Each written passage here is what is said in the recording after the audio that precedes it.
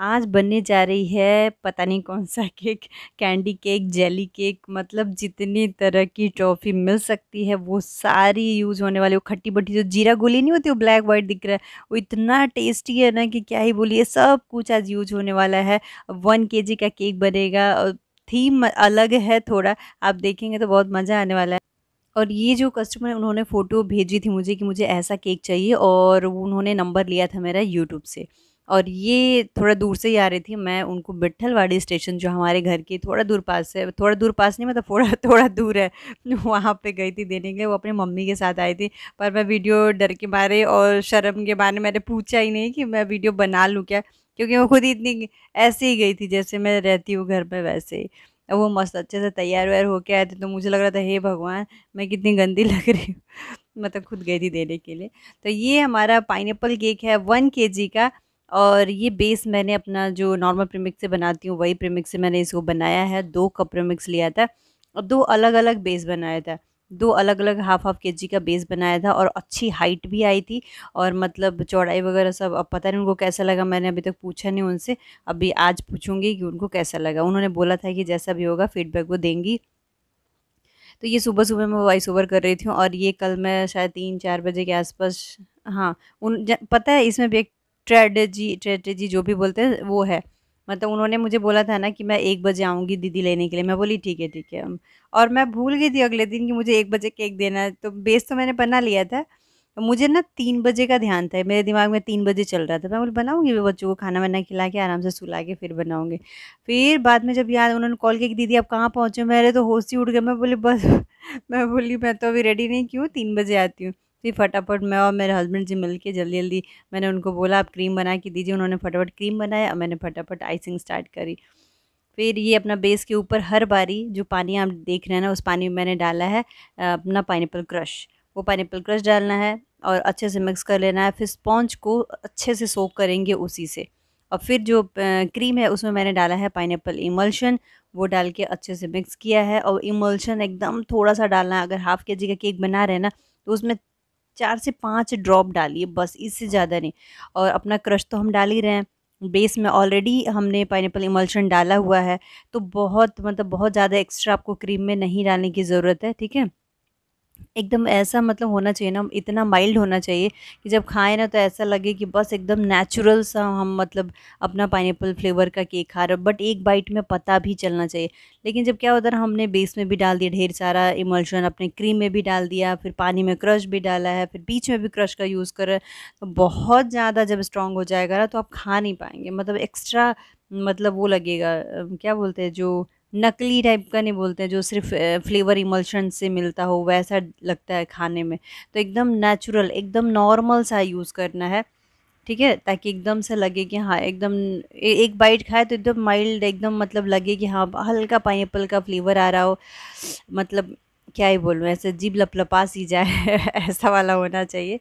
तो ये हमने अच्छे से कर लिया इसको कवर अब मुश्किल से 10 से 15 मिनट बस मैंने इसको रखा था सेट होने के लिए, बनने के बाद, ये इतना करने के बाद मतलब क्रम कोड कंप्लीट करने के बाद, ताकि थोड़ा सा सेट हो जाए, फिर तब तक मैं दूसरी क्रीम अभी सर बना रहे थे मतलब मेरे हस्बैंड जी जिनको मैं सर जी बोलती हूँ। अभी ये वाला किस्सा बाकी है कि मैं उनको सर जी क्यों बोलती हूँ, और जिनको जिनको थोड़ा गेस करना हो ना, वो बता सकते हैं कि मैं अपने हस्बैंड जी को सर जी क्यों बोलती हूँ।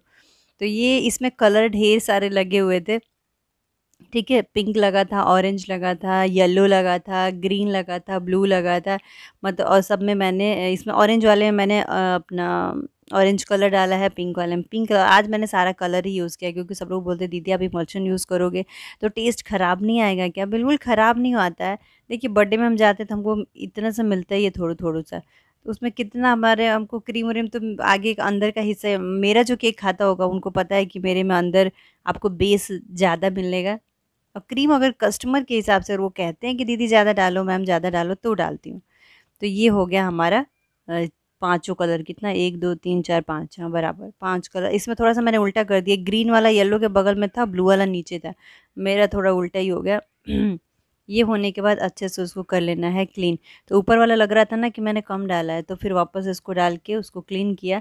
अभी इसको एक बराबर भी करना है, ऐसा नहीं छोड़ना, ये अच्छा नहीं लग रहा है ना, देखिए ऊपर नीचे से कैसा अजीब सा दिख रहा है। तो ऐसा नहीं करना, अभी बताती हूँ कि उसको कैसा करना है। तो ऊपर वाला हमने क्लीन कर लिया। ये, ठीक है? ऐसे करके आपको क्लीन कर लेना है। ये देखिए, ठीक है? हो गया ऊपर का क्लीन अब बारी आती है नीचे का। तो फिर नीचे जो मोटा वाला पार्ट होता है ना, हम लोग जो स्क्रैपर में जो मोटा वाला हिस्सा होता है, उससे हमको एकदम प्रॉपर बढ़िया से क्लीन करना ताकि देखने में थोड़ी अच्छी लगे। और ये आप यहाँ पे गनाश ले सकते हैं वाइट वाली तो मैंने प्रॉपर गनाश ही यूज़ करी है, ताकि टेस्ट उनको बढ़िया है तो कुछ नहीं किया, अपना वाइट कंपाउंड लिया, उसमें थोड़ा सा अपना विप क्रीम जो मैं यूज़ करती हूँ ना केक में वो वाली विप क्रीम डाली और अच्छे से मेल्ट कर लिया मेल्ट करके छान लिया। तो मैंने विप क्रीम थोड़ा ज़्यादा ही डाल दी थी तो थोड़ा सा पतला ही लग रहा है, आप देख सकते हैं। आपको इतना पतला नहीं करना गनाज थोड़ा थिक रखना ये देखिए, कुछ ऐसा था उनका फ़ोटो। अब बनने के बाद मैं दिखा रही हूँ कि फ़ोटो से मैच कर रहा है कि नहीं कर रहा है, ये आप बताएँगे, ठीक है? तो ये मैंने कैंडी लाई मतलब इतनी बारिश हो रही थी ना, बारिश में जाके मैं लेके आई और ये एक्स्ट्रा गुलाब वाला उसमें था नहीं, लेकिन मुझे बहुत अच्छा लगा, जेली वाला टॉफ़ी तो मैं जाके लेके आई। और इसमें जो ब्लैक और वाइट दिख रहा है ना, वो जीरा गोली है, कितना टेस्ट, इतना मतलब क्या बोले, इतना यम्मी था ना। कि क्या बोलो? फिर जिम्स में लेके आई ना तो जिम्स में ना ये टूटा हुआ तीन चार ही अच्छे मिले थे तो मैंने उसको नीचे चिपकाया, बाकी को सबको ऊपर डाल दिया। मतलब कुछ भी पैकेट इतना सुंदर और अंदर देखे तो ऐसा टूटा हुआ। तो अभी तो लाई थी तो डालना ही पड़ता तो मैंने उसको नीचे इसलिए डाला ताकि वो दिखे नहीं, बाकी का सारा चीज़ ऊपर डाला। ये वाली टॉफ़ी जो अभी देख रहे हैं ये भी बहुत टेस्टी है, बहुत ये वाली जो अभी अब पैकेट के साथ मैं जिसको डाल रही हूँ वो। ठीक है, फिर उसमें ब्लैक वाले जो किशमिश नहीं आती, मुनक्का, मैंने वो भी डाला, काजू भी डाला, क्योंकि उस पर सब डाला हुआ था। ये सारी चीज़ें मैंने भर भर के इसमें डाल दी है। ये देखिए जीरा गोली ब्लैक और वाइट, ये आप ज़रूर ट्राई करिएगा। बहुत ही अम्मी था, दस रुपये का लेके आई थी, छोटा पैकेट, बहुत टेस्टी लग रहा था।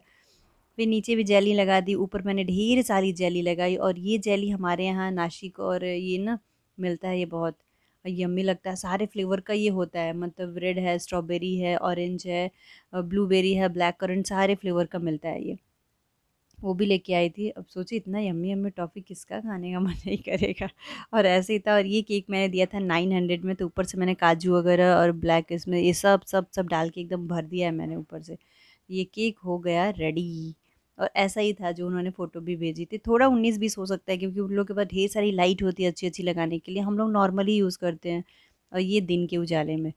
और कोई शाइन नहीं है, कोई फुसफुस नहीं है तो वीडियो आपको कैसी लगी ज़रूर बताइएगा। पसंद आई होगी तो लाइक करिएगा, चैनल को सब्सक्राइब कर लीजिएगा ढेर सारी रोज़ साढ़े बारह बजे वीडियो देखने के लिए और हाँ हमारी एक्स्ट्रा क्लासेस सारी स्टार्ट हो गई हैं। सेवन डे कोर्स भी, जो हमारा प्रो कोर्स था, वो भी स्टार्ट हो गया है कल से ही।